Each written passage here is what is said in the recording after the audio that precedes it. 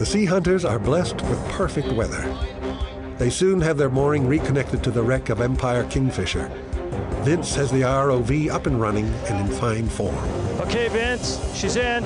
Now, what I'm going to need from you, Mike, is left or right. I want to head out in that direction. Looking good, Vince. Yes. Excellent heading. 20 feet off the boat. And whenever you want to dive.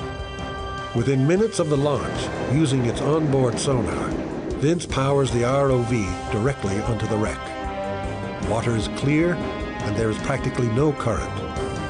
As the sea hunters settle in around the TV monitor, the machine sends up great images of a steel wreck that has obviously been cut open and had its insides pulled apart.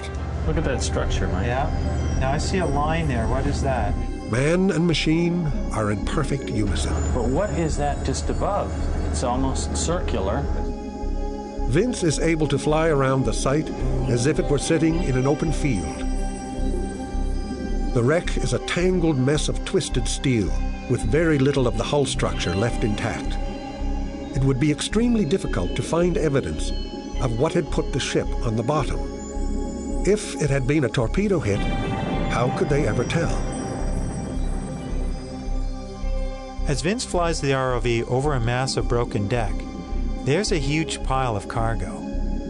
It's ammunition, what looks like thousands of rounds, a variety of big shells and bombs, each the size of a man's leg. And most of them appear to be intact. It reminds me of a story that Roy had told me about their biggest fear when salvaging these war wrecks. There were vast amounts of explosives right through the ship bombs, shells, all with their detonators in them, ready use ammunition of all sorts of types. We were very concerned about the explosives in the ship. We um, caused us what they call a sympathetic detonation. What we had done was accidentally detonating the munition, part of the munitions cargo on the wreck. We probably caused a charge with 100 tons of explosives, and the result was quite dramatic. Maybe there had been a similar explosion here while this wreck was being salvaged, and not all the ammunition had exploded. Do you think that's the bow, Jim? Look at it standing up there. Well, look at the way it's coming up. Yeah, and see that curve? Yeah. Hard to say. I mean, um, with this much damage, you know, we I think we're gonna have to come around it to take a really good hard look. Not enough control. She's on our side, and I don't know why. Just when we thought we were invincible, the ROV came to a stop.